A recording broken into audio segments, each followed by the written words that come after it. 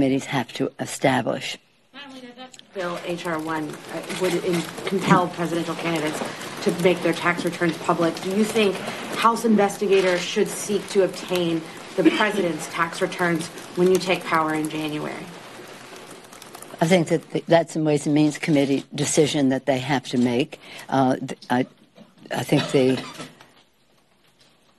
see a path in that direction, but you have to talk to them about that. You just But said there was too much attention on the president Yeah. and all of this other stuff. Um, are you not concerned that the Ways and Means Committee trying to get the president's tax returns? I think that it's. I think it's a little more um, challenging than you might think. I think they'll take the first steps, but they also are going to try to make sure uh, that the pre-existing condition benefit is solidified.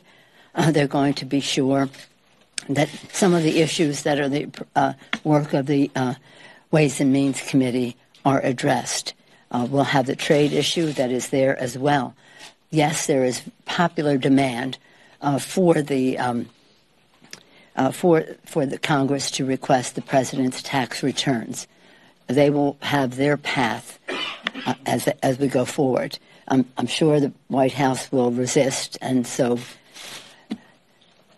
question is how do we go where do we go from there? But you know what? I, I was in a, i went to this event the other night to honor uh, tom lantos. It was a human rights event at the willard hotel. And joe biden was being honored and i was introducing him. This is about human rights.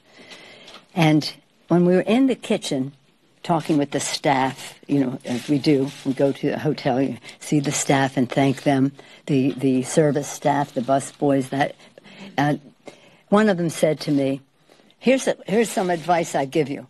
When they ask about the president's tax returns and he says, um, um, when they talk about the Mueller, no, he said, when they talk about, this is, this is a newcomer to America in the back of the restaurant, of the hotel restaurant, saying when they when the president says the Mueller investigation is going on too long, just tell him not as long as your audit, Mr. President.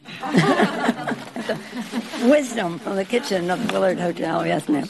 Madam Leader, Madam, you have spoken about, you've spoken in the past about not wanting to put an end date